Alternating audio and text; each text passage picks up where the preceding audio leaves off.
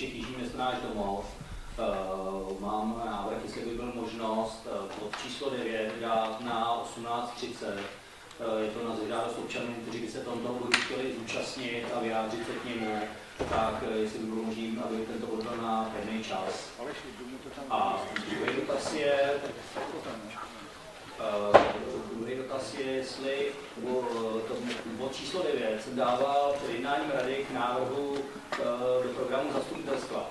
Uh, bylo mi teda řečeno, že tento bod byl zařazen, jenom mě překvapuje, že předkladatel je uveden uh, pan místostarosta Martin Sereker, když já jsem se o tento bod žádal, a to samý bodu 8, kdy tento bod se navrhoval na černovém zastupitelstvu, kde jsem ho v rámci časové tísně při jednání zastupitelstva stáhnul po domluvě s panem Duškou, že teda předložíme v září.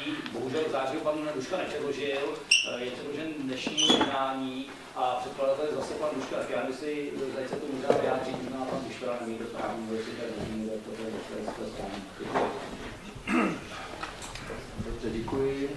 Jestli můžu tak poprosit jenom o ten názor, jestli je v pořádku ten předkladatel u toho dnešního návrhu programu, týká se Dunovského bod 9 a 8. Ano. 8 a 9, jestli ten předkladatel, který tam uveden, je správný, když dříve to navrhoval pan kolega Souček.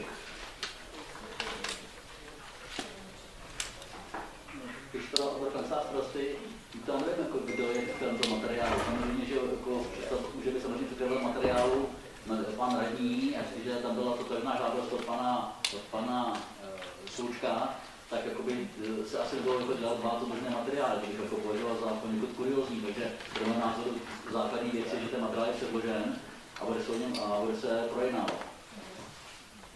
Dobře, tak děkuji za to upřesnění. Další návrhy budou do programu pan kolega